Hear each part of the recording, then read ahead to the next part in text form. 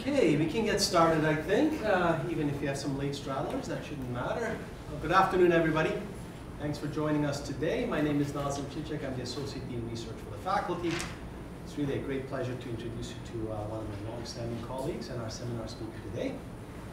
So Professor Danny Mann grew up in western Manitoba, where he attended school in Roblin and was introduced to the profession of agriculture on the family farm. Then he received his Bachelor's of Science degree in Agricultural Engineering in 1992, his MSc degree in Biosystems Engineering in 1995, and a PhD in Biosystems Engineering in 1998. Then he joined the Department of uh, Biosystems Engineering here in the faculty at the U of M in 98, and actually has served in many capacities, including department head, since 2009. Danny has research expertise in agricultural ergonomics, agricultural safety, and assistive technologies. His research bridges the disciplines of agricultural engineering and ergonomics. His current research aims to understanding how to incorporate real-time sensor information into an automation interface to enable remote supervision of autonomous agricultural machines, and you're going to hear much more of that today. Danny is a registered professional engineer with, with Engineers and Geoscientists Manitoba and has been a member of the Canadian Society for Bioengineering since 1998. He recently completed a two-year term as president. He's received the CSB Young Engineer of the Year Award in 2006, while he was still young, the Glenn Downing Award in, recogni in recognition uh, of outstanding work in the area of power and machinery in 2011, was elected Fellow of the Society in 2019, and received the Maple Leaf Award in 2022 in recognition of leadership in the profession. Danny has also rec uh, been recognized for teaching by the graduating class on two occasions in 2009 and 10 and 2019, and received the Excellence in Engineering Education Award from the Price Faculty of Engineering in 2020. And most recently, Danny was a 2021 recipient of the Biosystem Engineering Alumni of Influence Award. So without further ado, I invite Danny up. Please help me welcome. Thank you, Nazim. Welcome, everyone. Uh, what I'm going to, uh, to do today in this presentation is give you a bit of a, a, snapshot of, of my research program over the last 23 years, 24 years. When I was, when I was hired, uh, I, was, I, did a, I did a great sales pitch. I was trained, uh, Digvir Jayas was my uh, PhD advisor, my, my master's and my PhD advisor. So I, I was trained in the area of grain storage. But the position that was, was open in the department at the time was, was a position more focused on agricultural machinery. And I convinced the search committee that I would be able to make that transition. And, and although it maybe wasn't always completely smooth that, transition. I think it was it, it did allow me to uh, perhaps develop a, a unique uh, perspective with respect to machinery, and that's that's really what I'm going to uh, to focus on uh, today is how this how this program uh, research program evolved. We're certainly going to talk about autonomous tractors, but in 1998 the autonomous tractor at that point, you know, it was more of a concept, you know, still a very far-fetched concept. There were, there were a lot of intermediate steps that have been taken along the way. And that's, I'm going to try to give you a glimpse of that. So the origins of a research program. Uh, for many years, I, I just moved back uh, into the city this past summer, but for the last 20 years, I lived in Sanford and commuted uh, into the city every, every day. And this is what, one of the fields that, I don't remember what year it was, but I was commuting past and I, I stopped and took a picture of this and I thought, you know, this, this really symbolizes what, you know, what, what the problem is. So my suspicion is that actually what, what happened was that one of the nozzles on the sprayer was plugged and that as the farmer was spraying, it, you know, it was leaving one, one row that was not treated with herbicide and allowed the thistles to grow. That's probably what happened. I'm choosing to interpret it differently. This is exactly what would happen if I was the operator and I was driving in error and I was, I was driving too far apart and I was leaving a row that would be not treated. And so, you know, the idea of precision agriculture, this was really what, what farmers are trying to avoid. Avoid leaving strips where there is no pesticide applied, no fertilizer applied, no seed applied, and so forth. So this was sort of the origins, the quest to eliminate lateral error. Getting a sense of, of you know, the, how long that I've been working on this, this, this picture, the, the uh, technology that's shown in the, these slides, that was something that I purchased with, with my startup funds. It was called a CamTrack system. This was the latest and greatest technology at the time. It consisted of this little camera that you would mount somewhere on, on your implement in a forward uh, looking direction. And then this, this very, and this was not a very big monitor, it was literally about this big that you would mount onto your, in your cab somewhere. And there was a, this was long before the idea of wireless communication. so there was a long cable that connected from wherever you put that camera on the end of your sprayer back to the cab. And whatever the camera saw, you would see on the, on the monitor. So, you know, the idea was that if you're, if you're spraying with a, a, a boom that is 100 feet wide, instead of trying to guess where the end of the boom is, you've got the camera placed there and you've got then that bird's eye view of what the camera is seeing. And so we bought this, this uh, piece of technology and my first master student started to, to play around with this and you know, try to figure out what could we, what kind of impact could we make in terms of, of recommendations to farmers. And one of the first things that we, we quickly realized is that the placement of the camera was critical in terms of the information that was available to the driver. So, you know, just you know, looking at the geometry, by raising the camera or by focusing on that, that tilt angle, you ended up with a different, in that, in that schematic, a different D that was being seen by the camera when you think of this, I mean, it, in static terms, it maybe doesn't make a whole lot of sense, but as soon as you think about that tractor, that the camera is moving forward, all of a sudden you have basically what we described as image velocity. So on this tiny little screen, that picture is just scrolling by, and you know, we're telling the farmer, you can't see what's happening out there, so look at this little screen and watch this rapidly scrolling um, image and figure out what you're supposed to do, whether you're supposed to turn left, turn right, and so forth. And so we, we were able to prove that, or show that the performance measured in, in lateral error declined as this image velocity increases. And so this really was, was the impetus then to look at these guidance technologies not just from an engineering perspective, but from a human factors perspective, and understand what is the impact on the operator.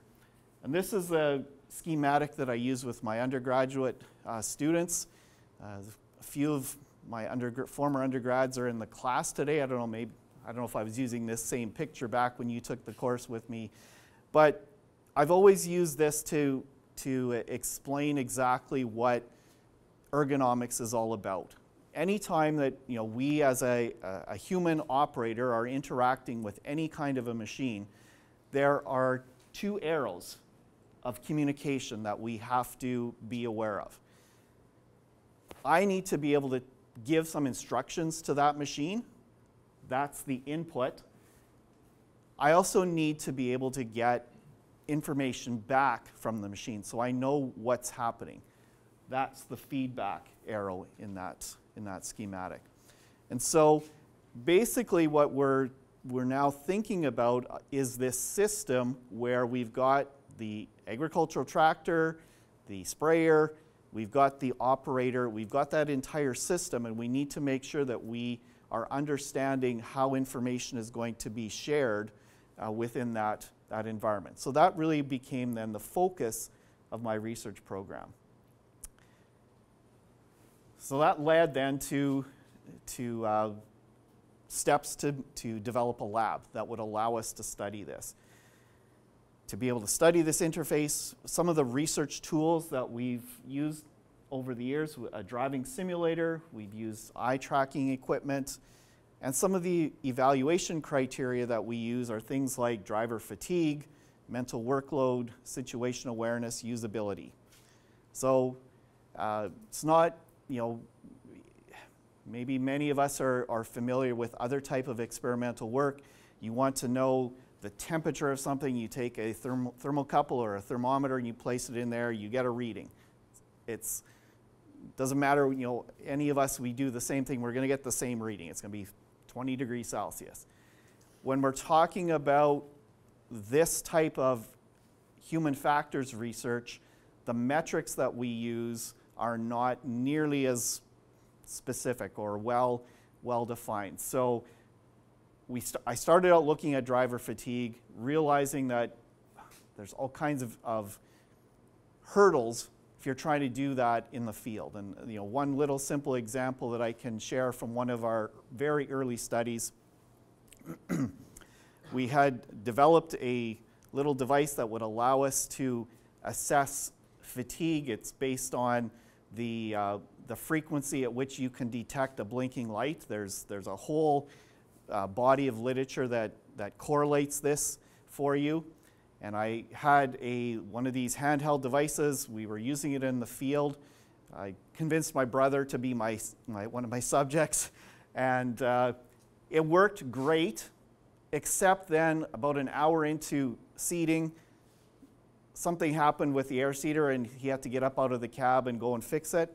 And so, you know, up until that point, we, you, you would sort of see a decline in terms of, or, you know, his fatigue level was, was increasing, I guess by getting out of the cab and doing some physical, ac physical activity, then his level of fatigue kind of went away again. You know, he was energized. And so we realized that or driver fatigue, for example, was probably not going to work for us very effectively. And so we, we kind of moved forward and tried some of these different metrics.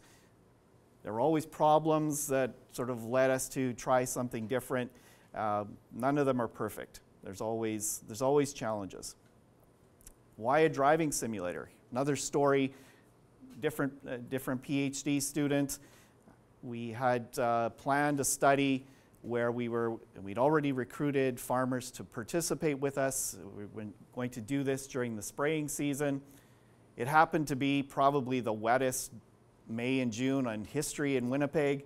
Every day was raining, and so we we couldn't get any, I mean, there was no spraying that was happening. When finally the weather broke and there were, you know, three consecutive days when there was no rain, the farmers just headed out to the field. They didn't contact us about coming out and, and setting up our equipment in the, in the cab and whatnot. So we essentially lost a whole season worth of research and I decided that I wasn't interested in that kind of headache for my whole career. I was going to work at developing a driving simulator where we could control some of the variables. We would have the flexibility. Uh, we could plan planning and safety and so forth. And so it's not perfect. It's certainly, there are limitations of using a simulator, but it was a cost benefit analysis of either running the risk of, of dealing with the weather or getting some useful information out of, out of this approach. So the first version of the simulator didn't look like a whole lot. it, was, it was a cab from a 1970s uh, vintage versatile tractor.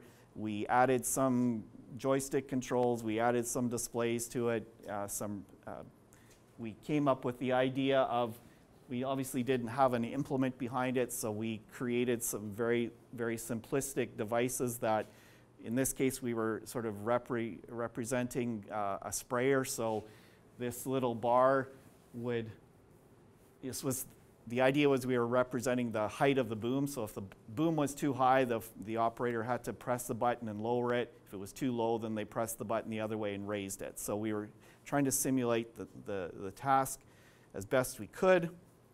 What this enabled was us to look at light bars. So this was probably about four years since that CamTrack system. By that point, GPS was becoming more prevalent, more popular, and so the technology of the day was the light bar. The light bar essentially was linked to a, a GPS receiver on the, the top of the tractor, and it was programmed based on the, the width of the implement that you were pulling, and it would tell you, ideally, you were doing a good job of driving, and the three LEDs, the green LEDs in the center would be lit up. But if you were too far left or too far right, then red LEDs would, would light up. And the, the idea was that the driver would see this and they would have to make the, the necessary steering correction.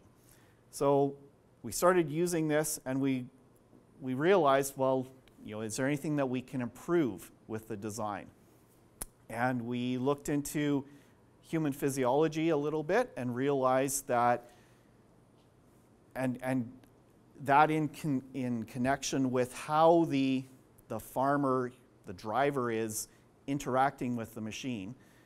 Because one of, the, one of the concerns that farmers were raising was that they liked the idea of the, of the light bar, but you know, it was placed stationary in front of them, and if they were standing or sitting there, um, staring at this, it became very difficult. It was, you know, it was incompatible with the fact that they also still had to monitor everything else.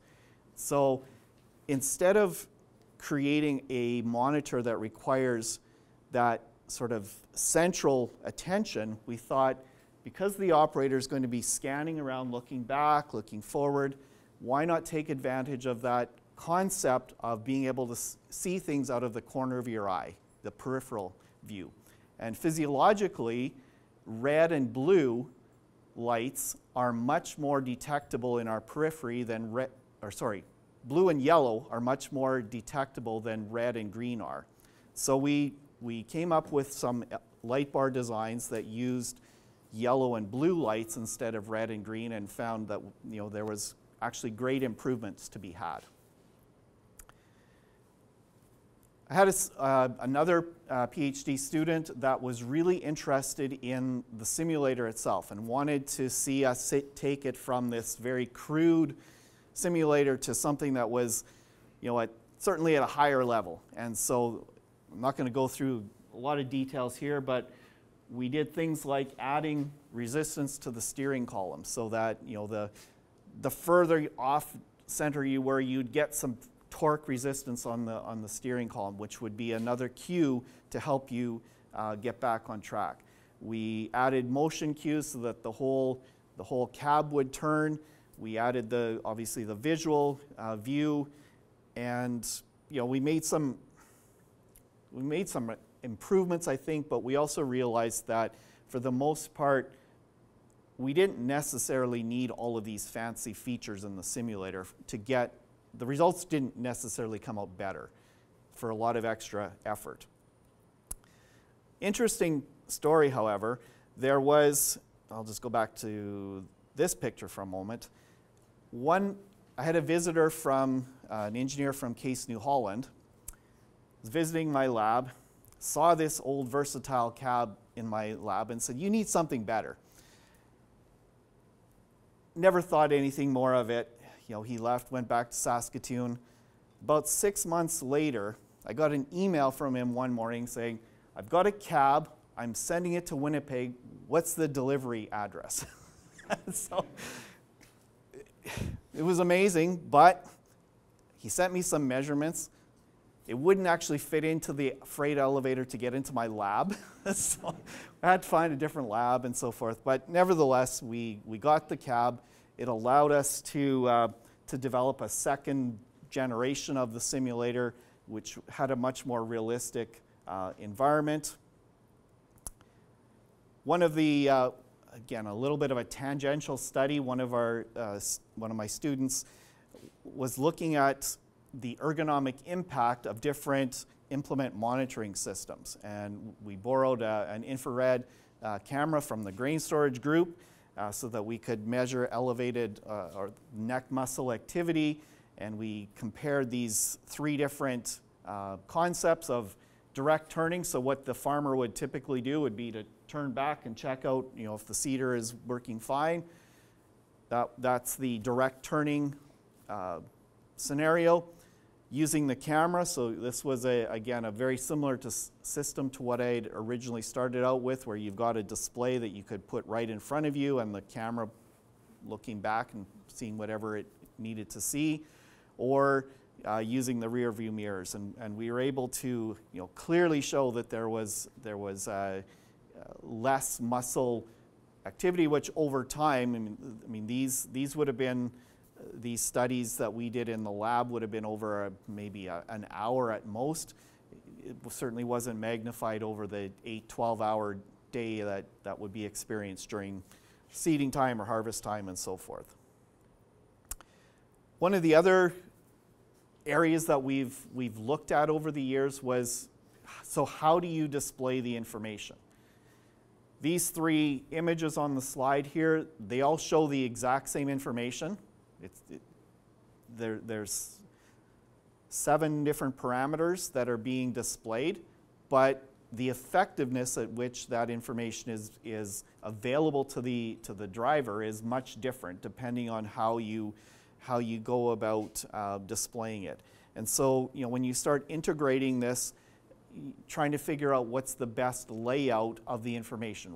So it's not only what is what are the key pieces of information, but how do you sort it out? How do you organize it? What colors do you use? How do you show uh, when, it, when the status is okay versus when it's not okay? All of these issues we started to, to look at in terms, I mean, the original, the, the initial reason for doing this was because we wanted to improve the display that we were using in the simulator, but we've now realized that you know, we're, when we're starting to talk about autonomous machines, there's still the, the, the need to be able to remotely monitor them. And I'll talk about that in a couple of slides coming up.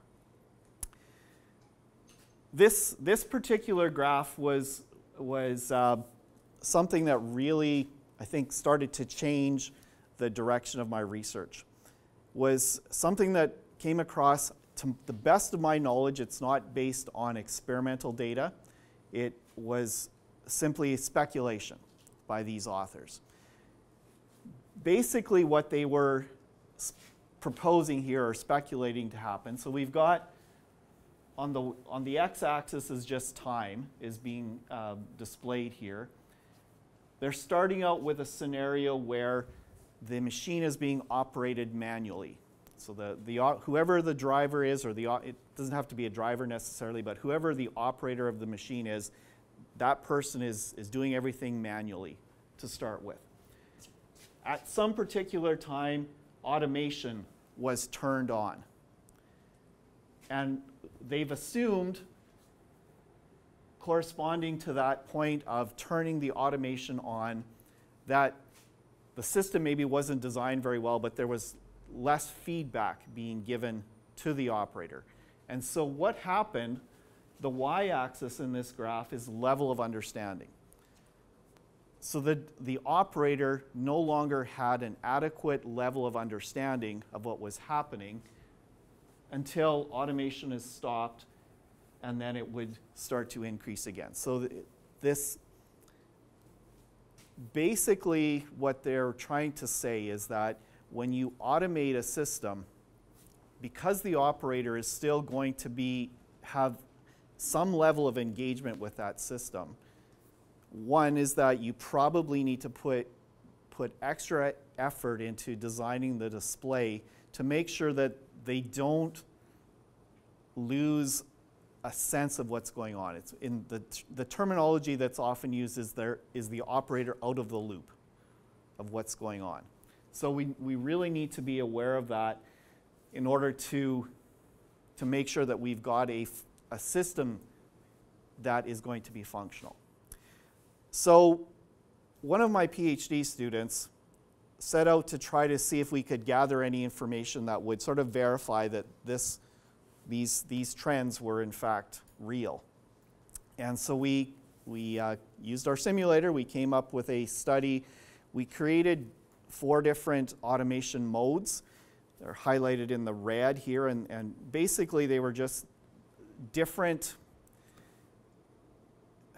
I mean, the, the whole theory behind automation is that it's not that it's manual or autonomous. There are a whole series of intermediate steps that, that define, it's not, it's not just a binary decision.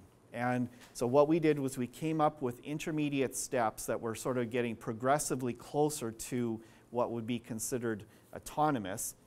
And I'm not going to focus on all the results. I'm just going to focus on this one last graph here. So we've got from manual and then these four, uh, three intermediate stages of sort of partial autonomy and then the final, which was fully autonomous. And what we, the, the results are not overwhelming. I mean, it's not like a nice, high, steep uh, slope to this, but the level of situation awareness was was uh, the situational understanding was increasing as we were giving better information to the operator. But then in that final stage, when we turned it into fully autonomous, then their level of understanding did drop. So we had some evidence that that speculation on the previous graph was in fact uh, true. Now moving a little bit closer to where, where, we're, where we are today. So, and basically what's, you know, those of you that are researchers in, in the room, you know that research is a lengthy process. We recruit grad students, they take courses, they, you know, so this, this all uh, takes a fair bit of time to, uh, to happen. And so, but technology doesn't stop. And so by this point now about this would be about 2017 that camera-based system that's long gone the company doesn't even exist anymore light bars are pretty much gone i've totally jumped over there was there was a stage where auto steer systems were were very common that was the latest technology i didn't even really have a student work on that because we just got to the point where we saw that the next logical step was autonomous, fully autonomous, autonomous machines. That you know the industry was getting close enough that that I thought it was necessary to start looking at this particular uh, angle. Again, I've because my background was grain storage, and when I you know made that original decision to go in this direction, I didn't want to get into the the game of racing with everyone else to try to come up with the autonomous machine myself.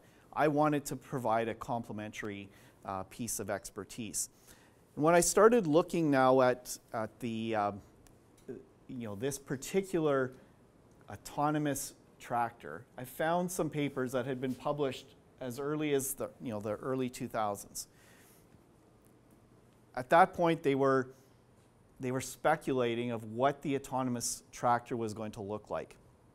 And they, th these were two examples. They both clearly stated that they believed that there was going to be a, a need for the operator to monitor what was going on on some kind of a display.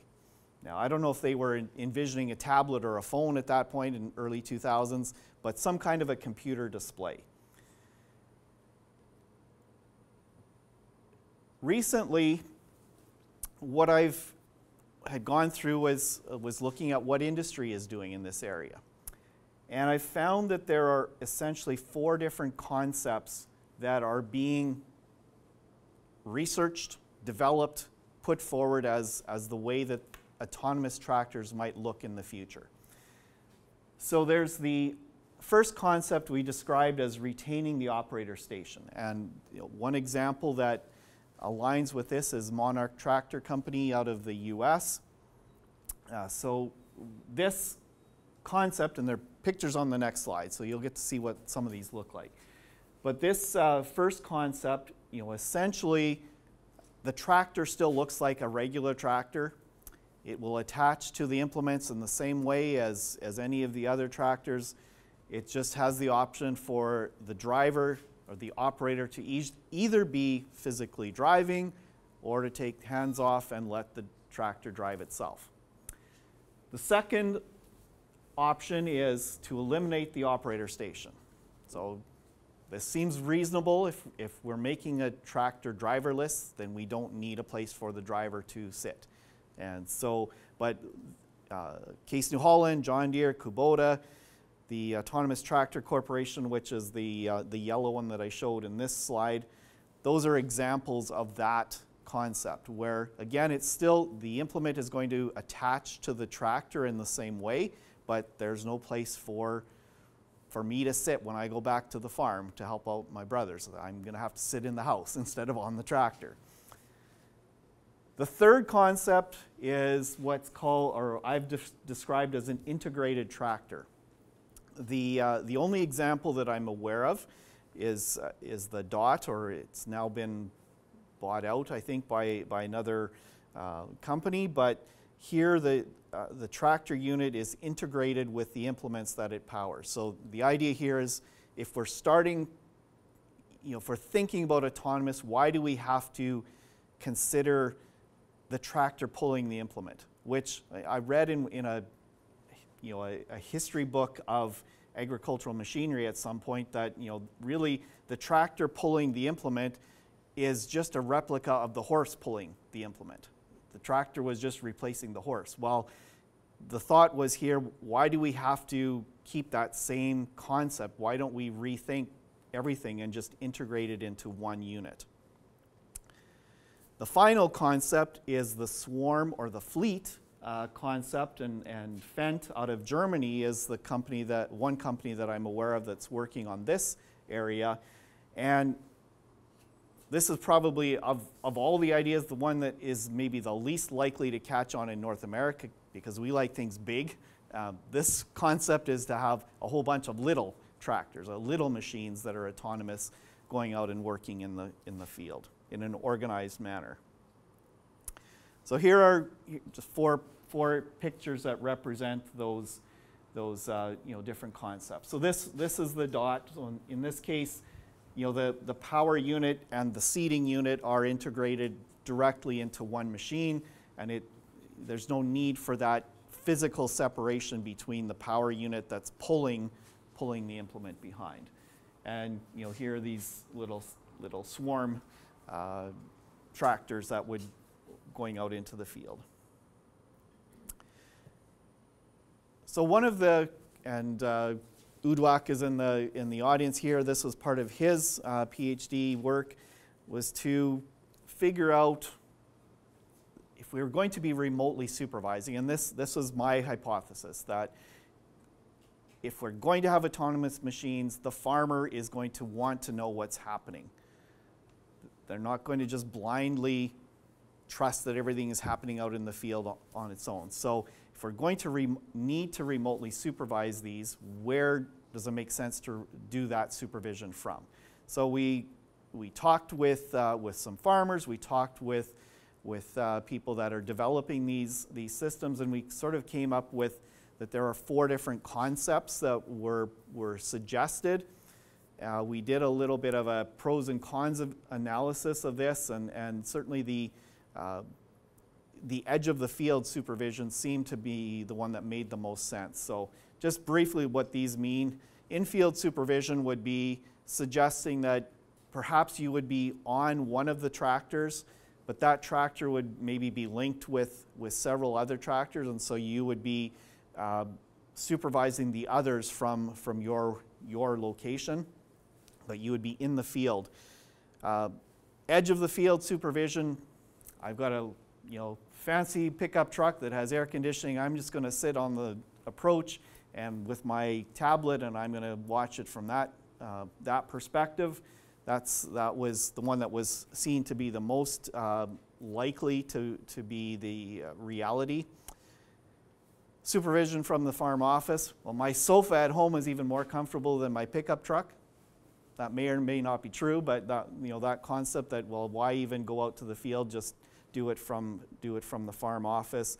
Or, you know, the last, you know, taking it to that, that next step that, well, maybe you even work off the farm and you can supervise it somehow from, from a remote location, or you've taken the family to Florida and you're monitor it while you're on vacation. So moving then to a little bit more of the, the nuts and bolts of this uh, remote supervision. One of the ideas that I had uh, heading into this was that the need for real, real-time sensory information. And I guess it comes down to uh, you know remembering when I was a kid on operating machines on the farm and you know realizing how much information you get from what you see, from what you hear, what you feel maybe. Uh, and if you're taken out of that machine, how much do we rely on that sensory information? So one of my PhD students in about 2017, 2018, we did a, a simulator study where we had essentially two scenarios where we had video uh, showing, a, in this case, it was just a plot sprayer operating, and different variables were changing with the, with the plot sprayer, and the, our participants were asked to watch the video and detect when they saw problems or changes, and they were supposed to indicate that on a, on a form. We had a second scenario where we uh, essentially assumed that we had sensors placed on the, on the sprayer and that instead of forcing the, the operator to watch the sprayer itself, the sensors would display the information for, for, the, for the operator. And we compared these, these two, two scenarios. We used eye tracking equipment. What's shown here is some of the heat maps that were generated, so it, it really focuses on where, where the, uh, the people were looking when they were asked to gather the information. One of the, this, this graph here is one of the, I think, the key findings that came out of, of this work. So, you know, as a good experimental study, we randomized the, the, the order in which these different trials were going to be displayed so we wouldn't be creating any bias. But in one instance, we, just, we looked at the trials in chronological order. And what we saw was at trial one, when there were these side by side displays, the participants didn't know which one to trust or which one to get the information from. So, not surprisingly, they spent roughly 50 50 split looking here, looking there. But by the 15th trial, we didn't have that same, same response. It was closer to a 70 30 split, where 70% of the time they were looking at the sensor data, and only 30% of the time they were looking here. So, the obvious conclusion from that study would be that we don't need visual information, right? There was a wrinkle because we asked, you know, once they were done the study, we had sort of an open questionnaire and it specifically asked if you what you felt about the having the real video.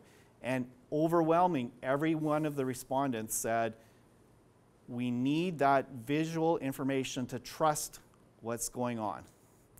So even though we can probably display the information better as sensor data, they needed that in order to have trust in the system and recognizing that you know that trust is again, I'm sitting in my pickup truck. I may not be able to see what's, what's actually happening there. I need to have some idea of what's going on. So, this is what the current version of our, of our interface looks like. So, we've integrated the sensor data with, with the real time uh, video images. But of course, the, one of the challenges that we recognized was going to perhaps uh, cause us some grief was if we're going to dis- if we're going to transmit that visual information from the field to wherever I'm monitoring from, how long is that going to take? And if, there, if there's too much of a delay, what kind of problems are that, is that going to cause for the operator? So we, this was some uh, research that was funded by, by our Bell MTS, um, money that came to the faculty. I recruited an electrical engineer because this is way above my head to, uh, to be able to, to figure this out, but we uh, developed a system with hardware that would allow us to transmit the video. We used two different systems. We used a, a uh, cellular transmission. We also used an Ethernet radio transmission. But we also had to develop the hardware that would allow us to measure the delay, the transmission delay from when it was sent to when it was received. That was, the, that was really the difficult part to, to get that. But we came up with it, we got the hardware to work, we set up uh, an experimental study where we had, uh, the hardware was, was mounted on my old lawn tractor. We um, you know, different distances away from our receiver. We drove the tractor back and forth. We were transmitting video, and we were able to. Uh, I mean, there definitely is a, uh, you know, the, the greater the distance is and so forth, the, the higher the resolution of the video, it, it does all increase the, uh, the, the latency or that, that transmission time. But in general, we found that it probably would be acceptable. Uh, now, the, the couple of interesting observations from this was that this worked really well when we did it on campus. It worked pretty well when we did it out at Glenlea. When we got to Sanford, when we got to Elm Creek, cellular doesn't work so well because cellular transmission requires cellular signal. and there are plenty of places, and we weren't in remote Manitoba by any means. I don't define Elm Creek or Sanford as being remote areas. But, and this was something that we pointed out to, to Bell when we met with them, is that if they really want uh, what, you know, this kind of technology to, to work on farms in Manitoba, we need much better cellular coverage in order for it to, to work.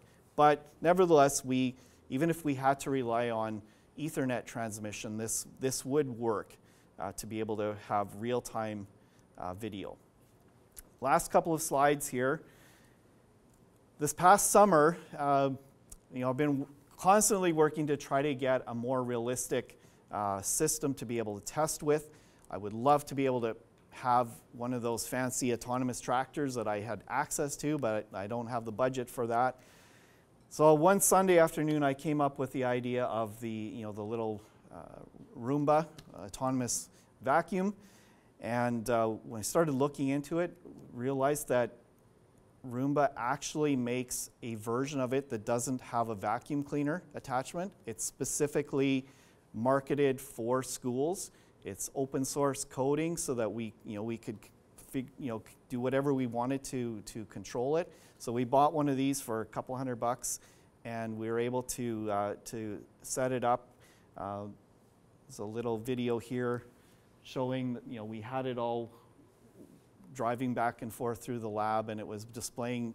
We had cameras mounted on it. It was sending it back to our our monitoring station. So it's not. We haven't done any experimental work with it yet, but it's we've got a system that that does kind of work. So again, unless I get that windfall and I can get the, you know, Case New Holland prototype out at, out at Glenlea or something, I'll have to make do with this, I guess. So just the last couple of slides, just some of the opportunities for future research that I see. Uh, I think there's, there's still plenty of work to be done in this visual information.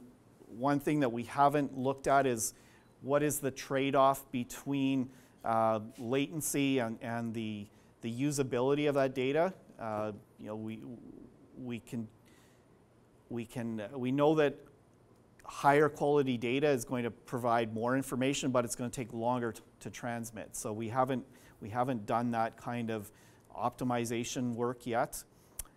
Auditory information, we haven't really looked at that as well. I, I, remember vividly when I was operating our old 503 combine on the, on the farm back in the day that if I you know, I could hear the speed of the cylinder almost to the, I don't know what, to what degree, but I knew that if at a certain point, if I didn't clutch or slow down, I was going to be out there pulling stuff out of the front of that machine for a couple hours. So I very quickly got to understand how to interpret the visual inform or the sorry, the auditory information. And so again, that would be lost in a remote supervision uh, type of scenario. So is there a role to be played by that? Uh, don't know. Uh, effective warning modalities. Uh, my current PhD student in, in the room today, this is what she's looking at, uh, trying to, again, the idea is not that the farmer is going to be sitting in the pickup truck looking at this eight hours straight. The idea is that something goes wrong, we need to notify, get, the, get their attention. So looking at that aspect of the, of the interface.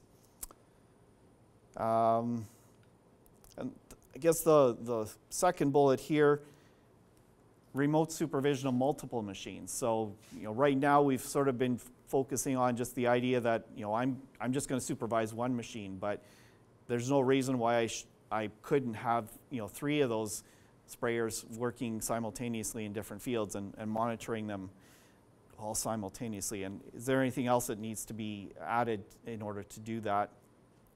And finally, there's a complete void in the literature on the area of shared situation awareness in human autonomy teams.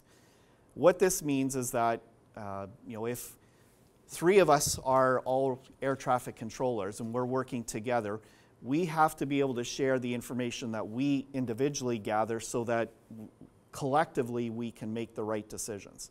There's a whole a great body of knowledge in the literature when you've got shared situation awareness amongst a team of humans. When you have a team that consists of one human and one autonomous machine, how do you, how do you generate that same shared understanding? So there's, there's a complete void in the literature on that. Uh, certainly an opportunity, I think, for future work.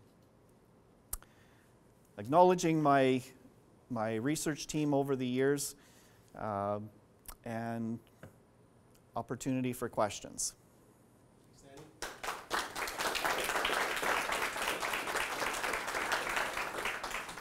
that's awesome. One thing I learned is that you have to be ingenious when doing research, you know? Find your tools, right? For 25 years you've demonstrated that, but let's open it up to questions on uh, Danny's presentation. Any questions from the audience? Please. Um, when do you think this might actually have practical application to commercial? Well, I, I think that you know the fact that there are these these images that that exist. I mean, the, the, these companies are getting getting very close. I think they're getting very close. You know, the reality is there there is going to have to be some means by which you, you supervise these. And so it, it's going to happen. Whether exactly when I can't predict, but it's it's yeah. I mean, there's there's too many companies that are working on it.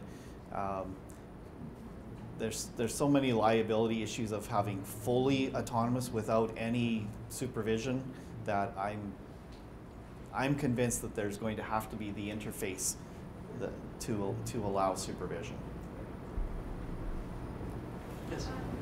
Yeah, thanks for the presentation. Um, it seems like you're really interested in machines, but you are also interested in human psychology and like how you first how you know the person perceives. And I'm wondering if you collaborated with like the psychology department or anybody in that realm in machine operation. And not, yeah, I mean not directly. I, I mean I know that I have co-authored, I think, maybe one paper uh, with with one of the professors from psychology. I mean, certainly some of my we we spend a lot of time reading the human factors literature, which most of the people that you know are they're not necessarily engineers like myself that are writing th those papers. So we're we're um, you know we're we're in, indirectly learning from from that.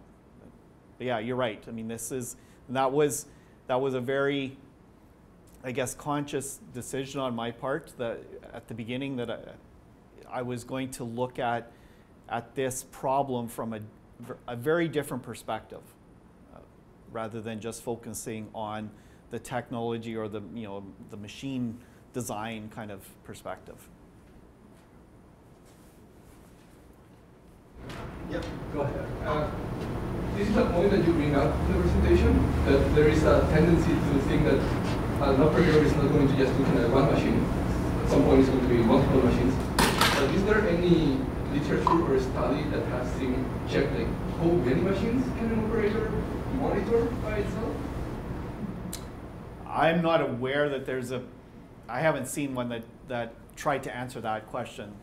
You know, there- I think there, there are papers, people that are speculating that it will be multiple, but I don't think anyone's tried to identify what is the maximum. So in that swarm case, the middle picture there, the third one, I mean, if you were to try to monitor all of those, I mean, you're gonna run out of attention span or bandwidth, Yeah. right? So And It's an interesting question. the, the idea with the swarm is as much as possible that you sort of have a, um, a slave, uh, what's the term I'm missing? Like, as a follow-up, this is like, uh, Uh, automation is on taking occasions say a way to like overcome shortage in labor, but at some point, because the operator cannot monitor infinite machines, there is still going to be a need to know like, well, I do need extra operators on the farm, but where do I draw the line? That's, that's right. Although, I mean, the, currently, there is one operator for every machine. So even if we go to one operator or one supervisor supervising two machines, that's already, you know, a 50% reduction in, in labor savings, right? So, you know, we don't necessarily have to get to one supervising 50 in order to make a big, big impact. I guess to kind of build on what you just said, do you think that like the savings you get from getting rid of one person would justify the cost of the autonomous tractor? Like considering the fact that tractors are already very expensive, how much more expensive would an autonomous tractor be compared to just a conventional? And then would you like to hire a guy to operate a tractor? You're paying him I don't know like fifty grand a year, if even maybe like twenty grand a season. So Awesome. now, now you're going into the philosophical route. I, I guess. where I will, I will confess that I'm not necessarily convinced that this is all a good idea. okay. I, you know, again, maybe my perspective is is a little bit biased. I grew up on the farm. Um, I look forward to the opportunity in springtime, seeding time, harvest time to get back out and get on the tractor and get away from my computer and and you know drive it. I'm not sure that I would feel the same way about going out to the farm and sitting and watching it then I might as well just stay in my office type of thing. So that's a, you know, I think a, a, a very good philosophical question. And, and I, as I said, I, even though I've been working in this area, I'm not entirely convinced that it's all a great idea. Uh, nevertheless, you know, I, the, the industry is moving in that direction, and I think at the very least, there's, as a, my, I believe strongly that there is going to have to be supervision of these machines, and that's where I, I've at least focused on that. Thanks.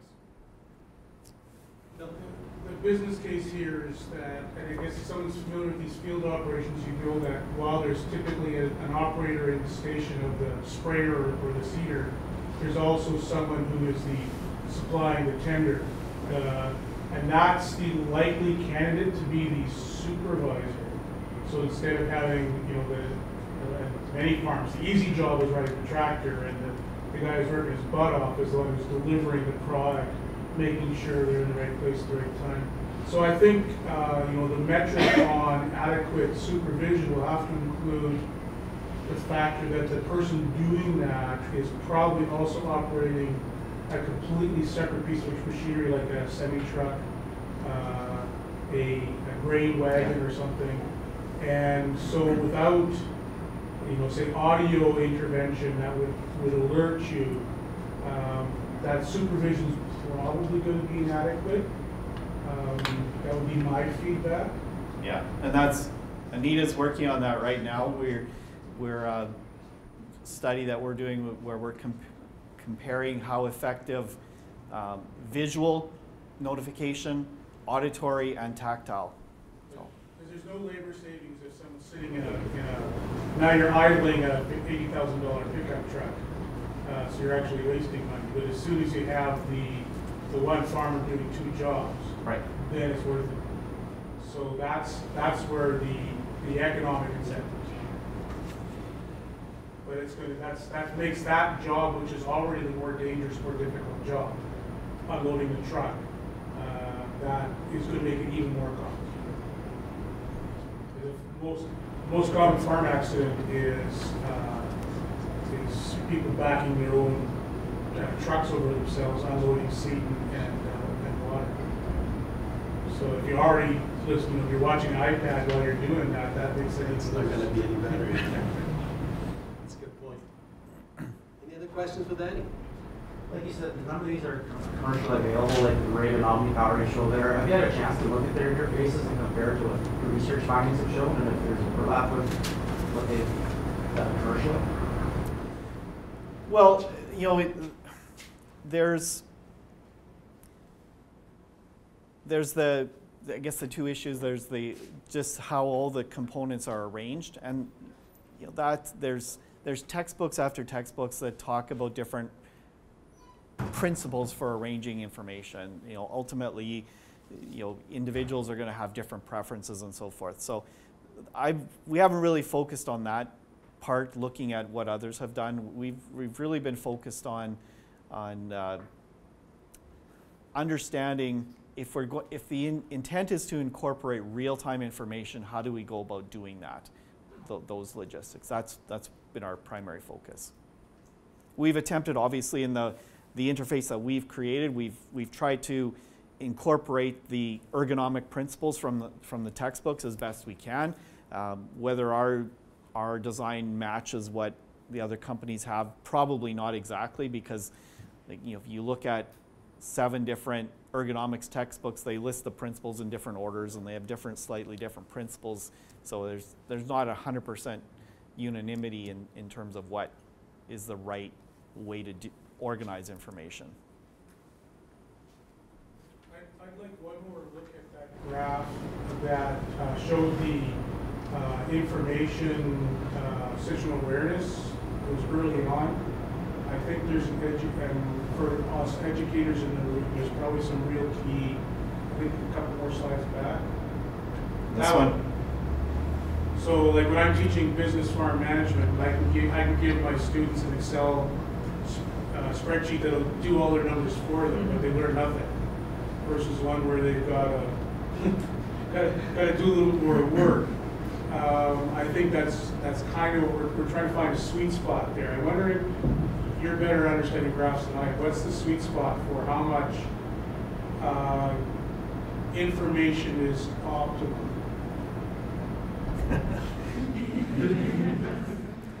Yeah, I, I don't I don't know how to how to answer that. Um,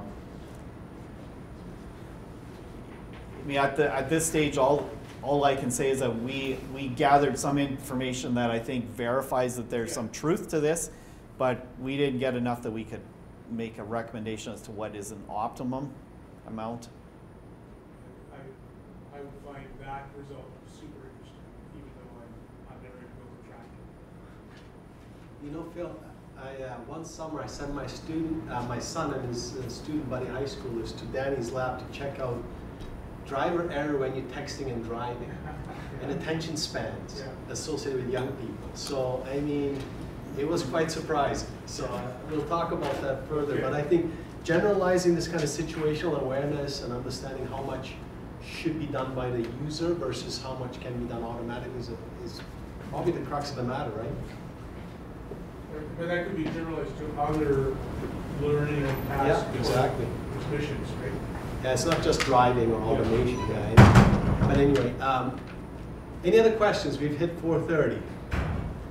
Yes, one more. Maybe one more on this graph. Uh, is your research mostly around maintaining situational awareness while, monitoring remotely or regaining situational awareness? I I think theoretically the, the goal should be to retain situation awareness, if at all possible. I mean, otherwise, then you, you, if you're not retaining, then you're admitting that you've allowed the operator to fall out of the loop, and that that's where it becomes dangerous or you know challenging to to bring the person back and fully aware. And I mean, there, I mean, it obviously it, it's there's all kinds of trade-offs because if if we are dealing with two different tasks at, at a time, you can't be hundred percent engaged in both of them. So the challenge is, is to to keep the person in, engaged enough that the, the time to sort of regain that level of understanding is as minimal as possible. I guess is the is the reality of what what what the goal should be. Yeah, I mean there's there's probably a lifetime of research in that graph. Well, thank you very much, everybody, and thanks, Danny.